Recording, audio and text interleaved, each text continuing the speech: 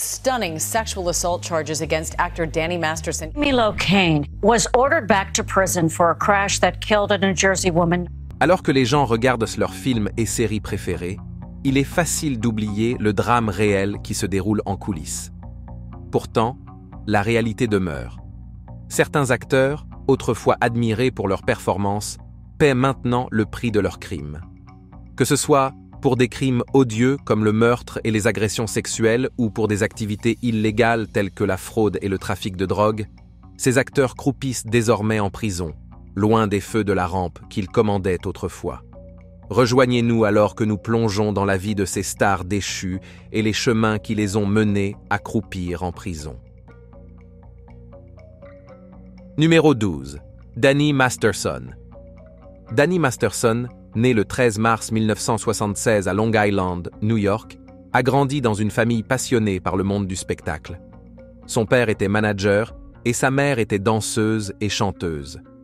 Masterson a commencé sa carrière d'acteur à un jeune âge, apparaissant dans des publicités et des rôles mineurs à la télévision.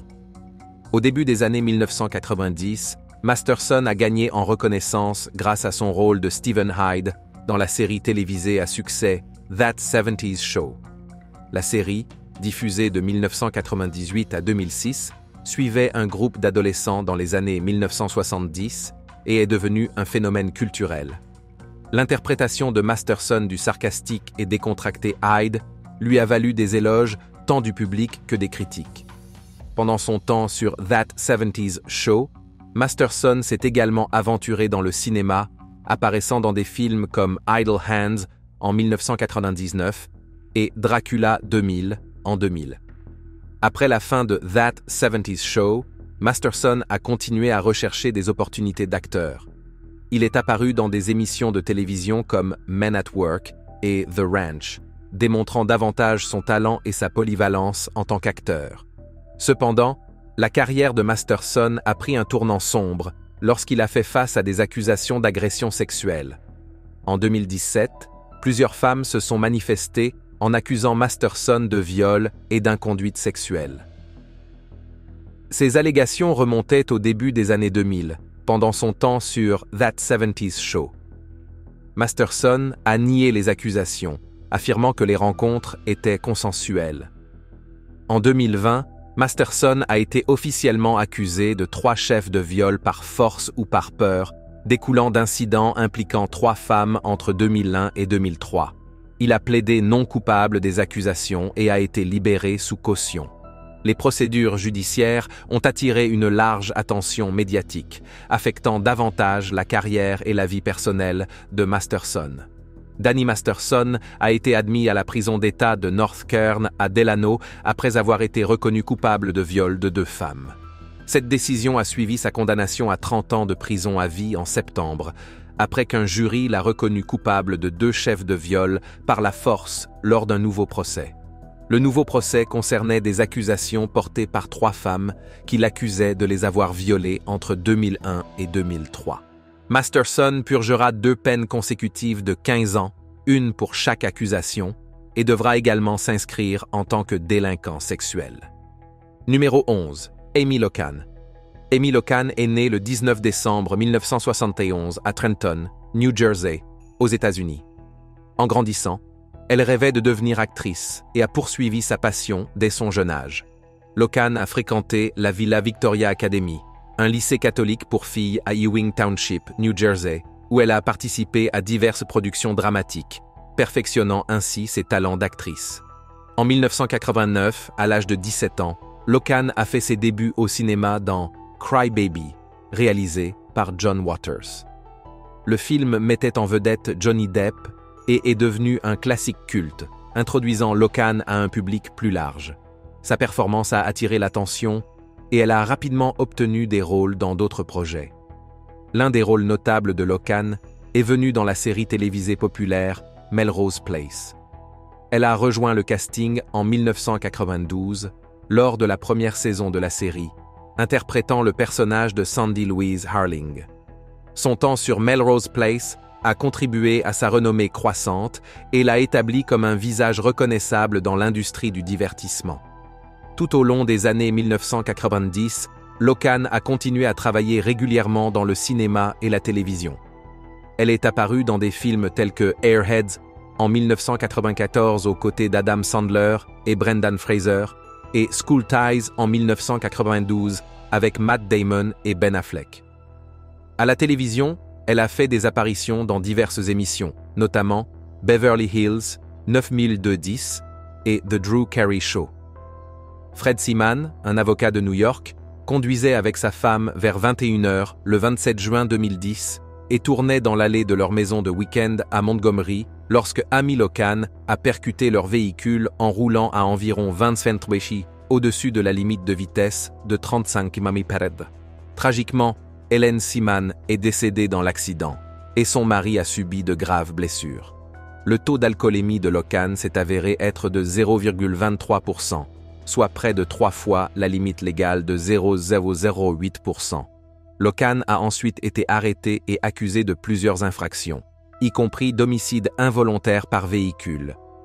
Les procédures judiciaires qui ont suivi ont été longues et complexes, attirant l'attention des médias en raison de la carrière d'actrice de Locan. En novembre 2012, Locan a été reconnu coupable d'homicide involontaire par véhicule et d'agression par automobile. Elle a été condamnée à huit ans de prison avec une possibilité de libération conditionnelle après avoir purgé environ deux ans et demi.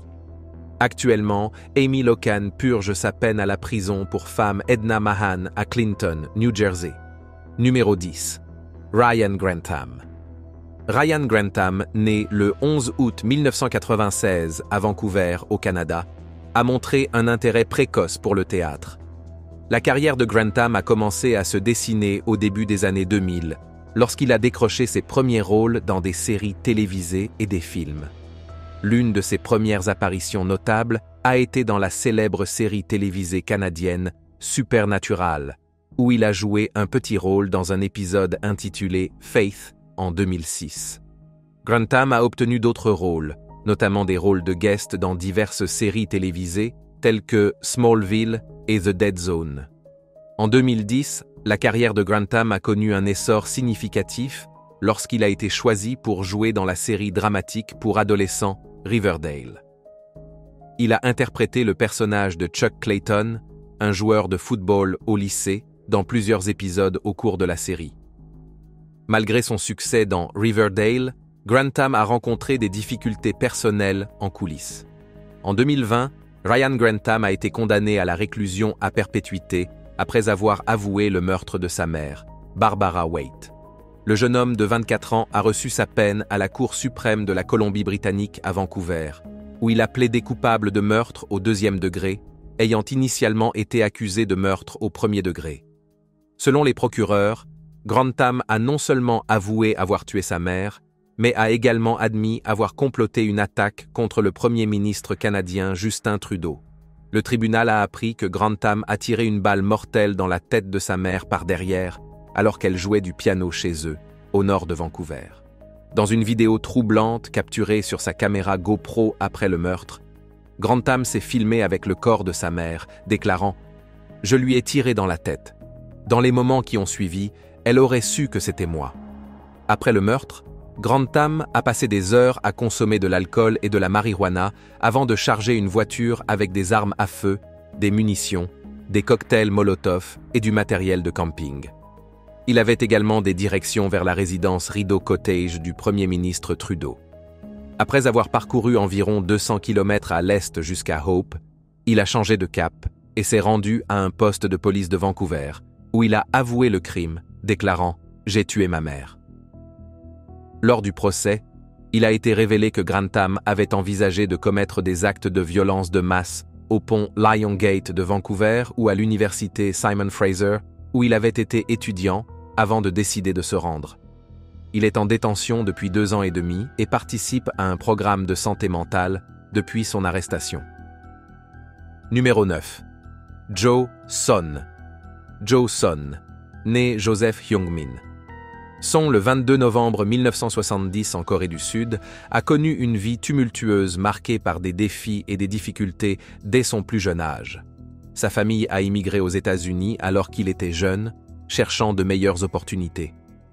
Grandissant dans un quartier difficile en Californie, Son a été attiré par une vie de criminalité dès son plus jeune âge.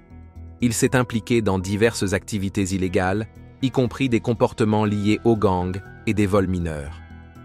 Malgré ses luttes précoces, Son a montré des compétences prometteuses en arts martiaux, en particulier en taekwondo, qu'il a commencé à pratiquer à l'adolescence. Il a gagné une certaine reconnaissance au début des années 1990 en tant qu'artiste martial mixte et kickboxer, participant à des événements tels que l'Ultimate Fighting Championship et le K1 Grand Prix. Cependant, sa carrière dans les sports de combat a été entachée par des controverses, avec des accusations de comportement antisportif et d'agressivité tant à l'intérieur qu'à l'extérieur du ring. En plus de ses activités en arts martiaux, son a tenté sa chance dans la comédie, faisant quelques apparitions dans des films et des émissions de télévision à la fin des années 1990 et au début des années 2000. Cependant, sa carrière d'acteur n'a jamais vraiment décollé, et il est resté relativement inconnu dans l'industrie du divertissement. Malgré sa brève incursion dans le cinéma, la vie de Son a pris un tournant sombre en 2008 lorsqu'il a été arrêté et accusé de plusieurs crimes, y compris de vandalisme criminel et de vandalisme avec des circonstances aggravantes de crimes haineux. Ces accusations découlaient d'un incident où Son, avec un autre individu, a vandalisé la propriété d'un voisin. L'accusation a soutenu que le vandalisme était motivé par la race, car les victimes étaient d'origine asiatique. En 2011, il a été arrêté et accusé d'avoir participé à un viol en réunion brutale qui a eu lieu en 1990. La victime, une femme attaquée alors qu'elle rentrait chez elle après un événement religieux, a identifié Son comme l'un de ses agresseurs après que son ADN ait été apparié avec les preuves recueillies sur les lieux du crime. Après son arrestation, Son a été jugé et reconnu coupable de plusieurs chefs d'accusation liés au viol, y compris de torture criminelle et de copulation orale forcée criminelle. En 2017, il a été condamné à la réclusion à perpétuité sans possibilité de libération conditionnelle, mettant ainsi fin à tout espoir de rédemption ou de réhabilitation pour cet artiste martial et acteur autrefois prometteur. À ce jour, Son reste incarcéré dans une prison d'État de Californie, purgant sa peine à perpétuité. Numéro 8. Joe Exotic. Joe Exotic, de son vrai nom Joseph Maldonado Passage, a captivé l'attention du public grâce à son personnage excentrique et à son implication dans le commerce d'animaux exotiques. Né le 5 mars 1963 à Garden City, Kansas, il a grandi entouré d'animaux sur la ferme de sa famille. Enfant, il a développé une passion pour la faune, ce qui a plus tard façonné son parcours professionnel.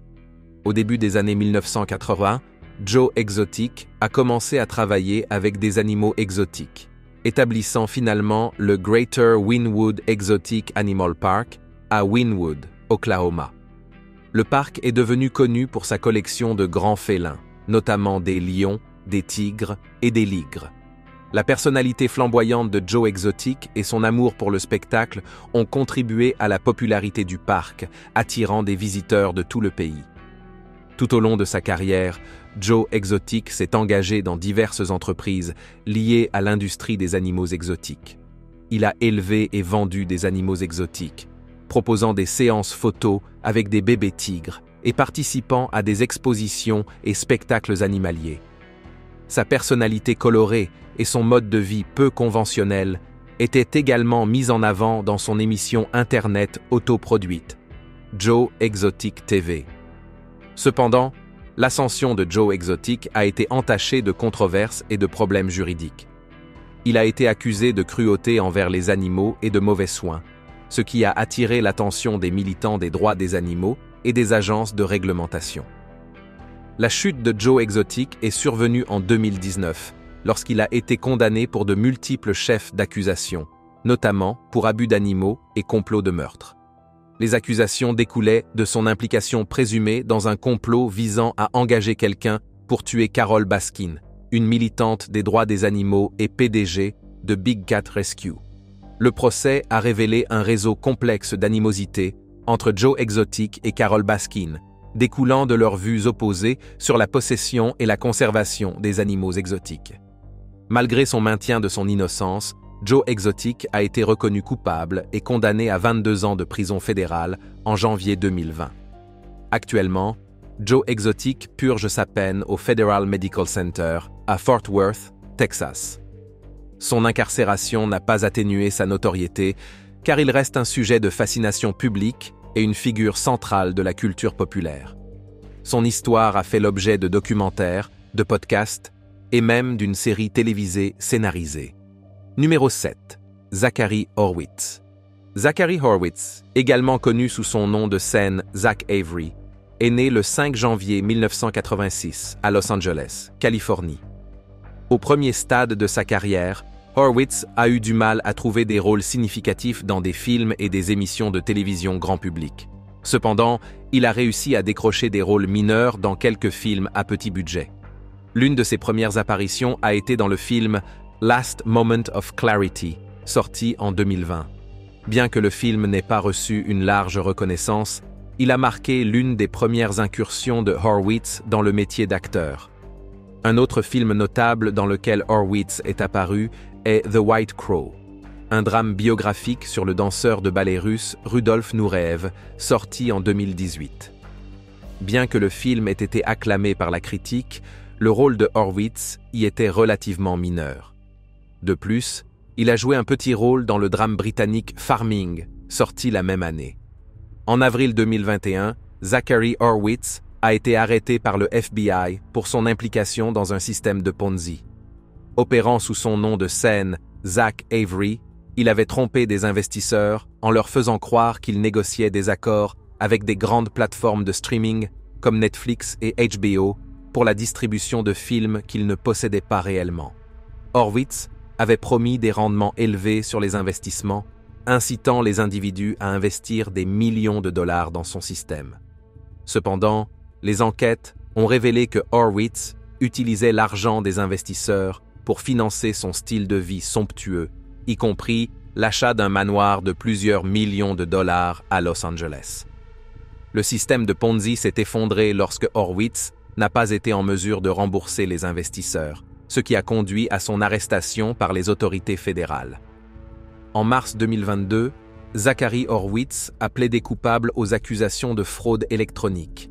Il a admis avoir escroqué les investisseurs de plus de 650 millions de dollars sur plusieurs années. En juin 2022, Horwitz a été condamné à 20 ans de prison fédérale pour son rôle dans le système de Ponzi. Il a également été condamné à verser des indemnités aux victimes de sa fraude. Actuellement, Zachary Horwitz purge sa peine dans une prison fédérale, où il restera pour un avenir prévisible. Sa chute d'acteur aspirant à fraudeur condamné sert de mise en garde sur les dangers de poursuivre le succès par des moyens malhonnêtes dans le monde impitoyable d'Hollywood. Numéro 6. Kalan Walker. Kalan Walker, connu pour ses rôles dans des films tels que Superfly et Kings, a connu un parcours qui l'a mené des paillettes d'Hollywood aux confins d'une cellule de prison. Né le 17 novembre 1993 à Los Angeles, en Californie, Walker a grandi dans un environnement difficile. Sa jeunesse a été marquée par des luttes et des difficultés alors qu'il naviguait dans les rues dures de South Central Los Angeles. Son grand break est survenu lorsqu'il a décroché des rôles dans plusieurs films, dont Superfly, un film policier de 2018 réalisé par Director X où il jouait le personnage de Juju. La performance de Walker a attiré l'attention et lui a valu la reconnaissance dans l'industrie. Suite à son succès dans Superfly, Walker a continué à chercher des opportunités d'acteur. Il est apparu dans Kings, un film dramatique policier de 2017 réalisé par Denis Gamze Erguven, où il interprétait le personnage de The General. Ces rôles ont montré la polyvalence de Walker en tant qu'acteur et ont solidifié sa présence à Hollywood. Cependant, la carrière prometteuse de Walker a pris un tournant sombre lorsqu'il s'est retrouvé mêlé à des problèmes judiciaires. En 2022, il a fait face à de multiples accusations de viol et d'agressions sexuelles impliquant des mannequins en herbe et des jeunes femmes. Les accusations ont secoué l'industrie du divertissement et terni la réputation de Walker. Malgré son maintien de son innocence, Walker a été reconnu coupable de ces crimes et condamné à 50 ans de prison à perpétuité. Actuellement, K. Alan Walker purge sa peine, confiné à une vie derrière les barreaux. Sa carrière autrefois prometteuse est au point mort, éclipsée par la gravité de ses actions.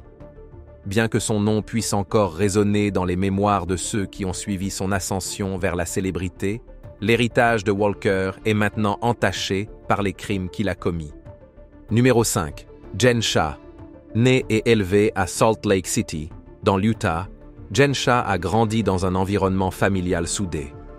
Elle a fréquenté des écoles locales et a été décrite comme ambitieuse dès son jeune âge, avec des rêves de réussir dans le monde des affaires et du divertissement.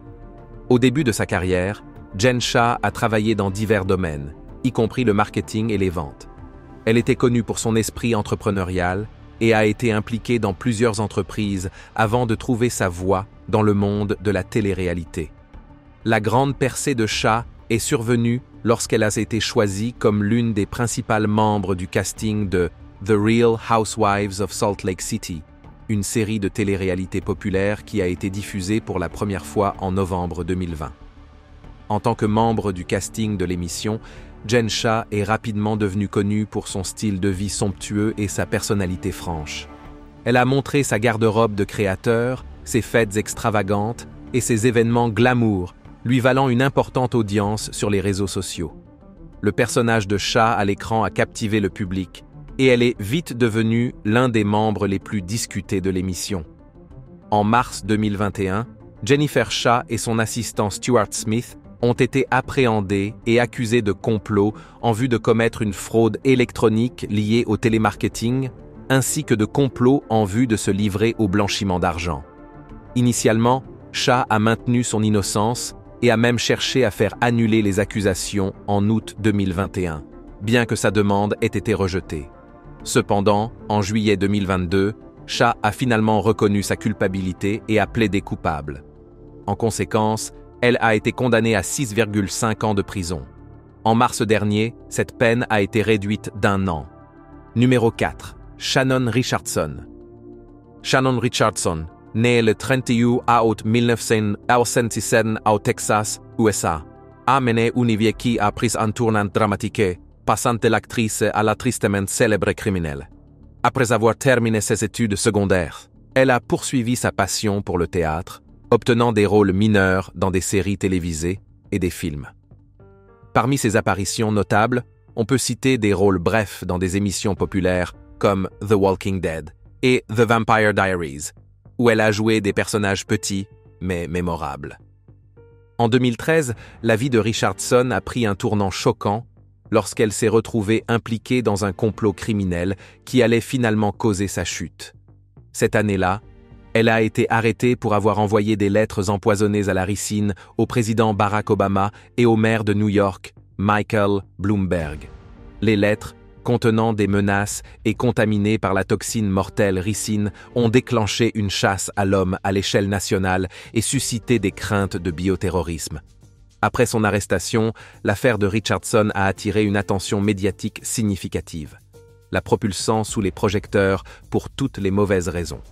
En décembre 2013, elle a plaidé coupable aux accusations de possession et de production d'une toxine biologique à des fins d'utilisation comme arme.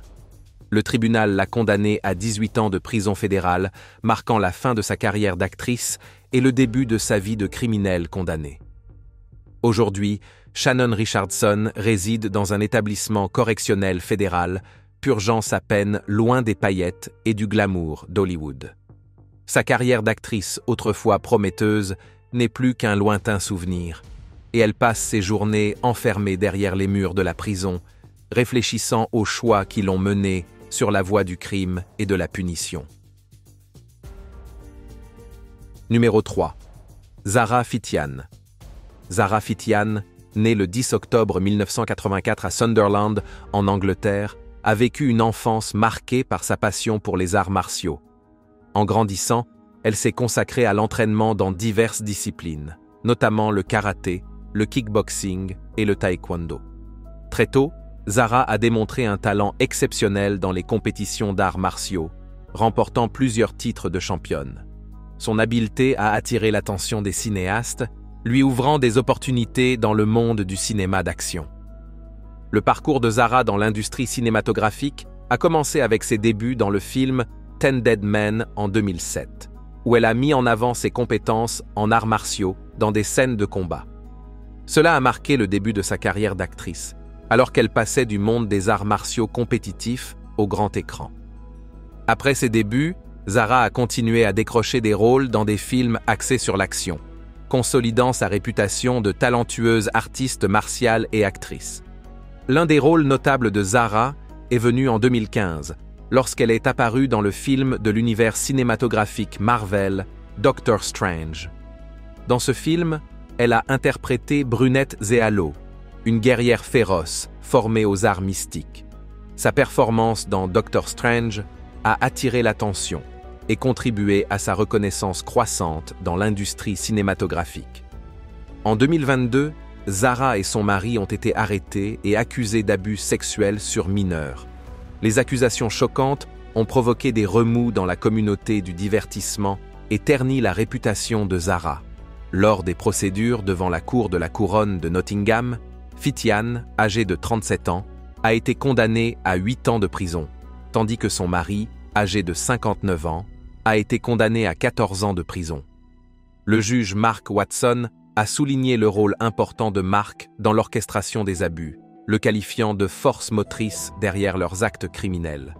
En s'adressant à Fitian, le juge a remarqué que malgré son déni d'avoir été fasciné par Victor Mark lors de l'interrogatoire, les preuves présentées ne laissaient aucun doute sur le fait que ses actions étaient influencées par lui dès son plus jeune âge, façonnant son comportement déviant. Numéro 2. Harvey Weinstein. Harvey Weinstein, né le 19 mars 1952 à Flushing, New York, a grandi dans une famille juive de classe moyenne. Il a fréquenté le John Bone High School et a ensuite obtenu son diplôme de la State University of New York à Buffalo en 1973. En 1979, Harvey et Bob Weinstein ont cofondé Miramax Films, du nom de leurs parents, Myriam et Max Weinstein. Miramax a commencé comme une petite société indépendante de distribution de films, mais a rapidement gagné en notoriété dans l'industrie cinématographique. Au cours des années 1980 et 1990, Miramax a produit et distribué de nombreux films acclamés par la critique, dont Sex, Lies and Videotape en 1989 et The Crying Game en 1992, qui ont remporté plusieurs Oscars. La réputation de Weinstein en tant qu'homme d'affaires avisé et producteur puissant s'est accrue à mesure que Miramax devenait synonyme de cinéma indépendant. En 2005, Harvey et Bob Weinstein ont quitté Miramax et fondé The Weinstein Company, poursuivant leur collaboration réussie dans l'industrie cinématographique.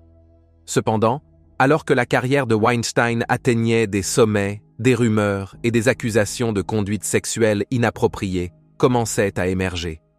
En octobre 2017, des reportages d'investigation du New York Times et du New Yorker ont révélé des décennies d'accusations de harcèlement et d'agressions sexuelles contre Harvey Weinstein. De nombreuses femmes, dont des actrices célèbres telles qu'Ashley Judd et Rose McGowan, ont dénoncé le comportement prédateur de Weinstein. Les révélations ont déclenché le mouvement par MeToo, permettant aux survivants d'abus et de harcèlement sexuel de s'exprimer contre leurs agresseurs. La chute de Weinstein a été rapide et dramatique. Il a été évincé de The Weinstein Company, qui a ensuite déposé le bilan et expulsé des organisations prestigieuses de l'industrie comme l'Academy of Motion Picture Arts and Sciences. En mai 2018, Weinstein s'est rendu aux autorités à New York et a été arrêté pour des accusations de viol et d'agression sexuelle. Son procès, qui a débuté en janvier 2020, a captivé l'attention du public alors que Weinstein faisait face à des accusations de plusieurs femmes. Le 24 février 2020, Harvey Weinstein a été reconnu coupable de deux crimes sexuels, viol au troisième degré et acte sexuel criminel au premier degré. Par la suite, Weinstein a été condamné à 23 ans de prison, une peine qui équivaut à une condamnation à vie pour le producteur déchu, âgé de 67 ans. Il purge actuellement sa peine au Wende Correctional Facility à Alden, New York, où il reste l'un des détenus les plus médiatisés. Numéro 1. Michael Jace. Michael Jace est né le 13 juillet 1962 à Patterson, New Jersey, États-Unis. En grandissant, il rêvait de devenir acteur et a poursuivi cette passion avec détermination.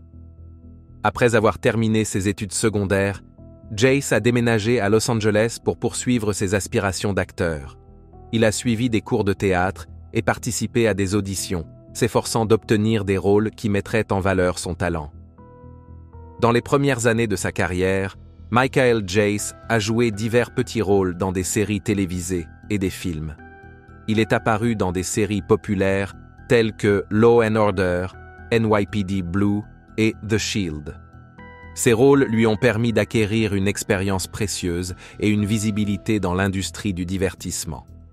Cependant, c'est son interprétation de l'agent Julien Lowe dans la série policière The Shield sur FX qui lui a apporté une reconnaissance mondiale. La performance de Jace en tant que jeune policier en proie à des conflits a été saluée par la critique et lui a valu une base de fans fidèles. Il est apparu dans toutes les sept saisons de la série, de 2002 à 2008, consolidant ainsi sa place dans le paysage télévisuel. En dehors de The Shield, Jace a continué à travailler sur divers projets, notamment des apparitions dans des séries télévisées tels que CSI Crime Scene Investigation et Southland. Il s'est également aventuré dans le monde du cinéma, apparaissant dans des films tels que Forrest Gump et La planète des singes. Malgré son succès dans le monde du théâtre, la vie de Michael Jace a pris une tournure sombre en mai 2014. Il a été arrêté et accusé du meurtre de sa femme, April Jace, à leur domicile de Los Angeles. Selon les rapports, Jace a lui-même appelé le 911, avouant avoir tiré sur sa femme. L'incident tragique a choqué beaucoup de gens, Jace étant connu pour ses rôles d'agent de la loi à l'écran. Lors du procès, qui a eu lieu en 2016, les procureurs ont présenté des preuves indiquant que la fusillade s'était produite après un différend domestique. Jace a finalement été reconnu coupable de meurtre au deuxième degré et condamné à 40 ans de réclusion criminelle à perpétuité le juge a qualifié le crime de meurtre extrêmement froid commis par l'accusé, soulignant la gravité de l'affaire. Aujourd'hui, Michael Jace purge sa peine dans une prison d'État de Californie. Il a été privé de sa liberté et séparé de la société, contraint de faire face aux conséquences de ses actes. Merci d'avoir regardé cet épisode. Tant que vous êtes encore là, assurez-vous de cliquer sur la vidéo à l'écran pour plus de contenu de qualité.